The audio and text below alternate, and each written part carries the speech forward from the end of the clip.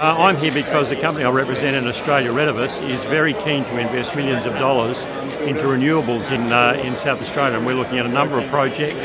So getting an understanding of what we're trying to achieve here is, uh, is a perfect opportunity for me. Very keen to look at the notion of the main street, say a Hutt Street becoming the hub uh, of a renewables project and driving uh, the message up from the people in the street to uh, make it happen from the ground up.